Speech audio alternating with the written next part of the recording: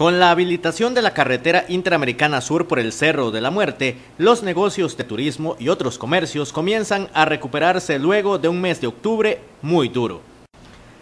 aunque la temporada era baja en cuanto a la afluencia de turistas a los diversos negocios ubicados a lo largo del cerro, el tiempo que estuvo cerrada la ruta provocó un serio golpe a la economía. Pero, dado bueno, por las inclemencias que sucedieron con el tiempo semanas atrás, sí se vio un poco afectada la temporada, este, lo que fueron prácticamente todo el mes de octubre. Ya que se habilitaron las vías principales, este, ya se está retomando otra vez la actividad del turismo y es que todas las comunidades en esa zona se vieron seriamente afectadas. Es por eso que están muy satisfechos que las cosas regresen de a poco a la normalidad, por una ruta de las más transitadas por turistas o personas que solo tienen que viajar al área metropolitana o viceversa hacia la zona sur. Sí, claro, la verdad, es, tanto la comunidad como la misma Interamericana Sur, digamos, porque todos los negocios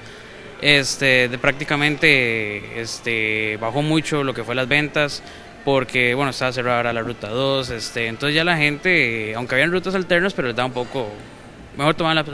las, precauciones del caso y no, no iban a la zona, pero ya se está activando otra vez por dicha. Los fines de semana fueron los momentos más duros durante la época de octubre, ya que al ser una temporada baja, el sábado y domingo eran los días de más presencia de turistas. Este, sí deja mucho porque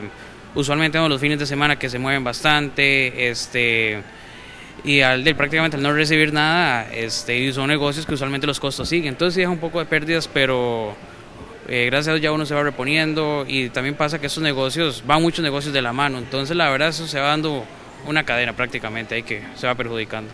La decisión tomada hace algunos días de tener abierta la Interamericana Sur 24 horas también es una noticia que aplauden los empresarios en esa zona alta. la verdad no usualmente, digamos, este, porque por ejemplo mucho la gente llega siempre temprano o está igual cuando ellos hacen el checkout ya es como a mediodía. Entonces la verdad eso lo de la noche de a lo que es la actividad no nos está afectando. Ah, no, claro, sí, sí, sí, sí es primordial digamos que, que, esté abierta. Tan, bueno, 24 horas, porque usualmente digamos, este, a uno también a veces tiene que salir, a veces este, ya con eso les ajustan un poco los planes, pero la idea es que sí esté abierta todo el día.